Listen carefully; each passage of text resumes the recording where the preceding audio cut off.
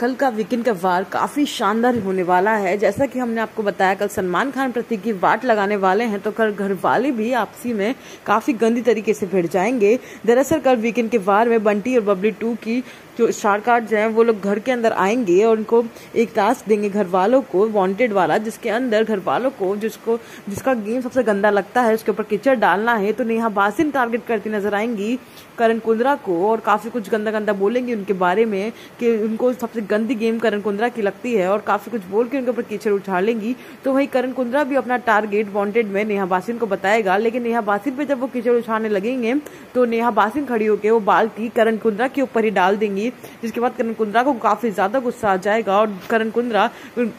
hero actress, actor के सामने, घर में आए हुए गेस्ट के सामने ही नेहा बासिन की काफ़ी गंदी उतार देंगे। यानी कि कल का वीकेंड का वार काफ़ी शानदार होने वाला है। जैसा कि आप फ़ोटोज़ में भी देख सकते हैं कि कल वांटेड वाला गेम होने वाला है, जिसके अंदर घर वाले आपसी में भिड़ने वाले हैं। इस पर आपका क्या कहना है? कमेंट सेक्शन में बताएँ और चैनल को सब्सक्राइब ज़रूर करें।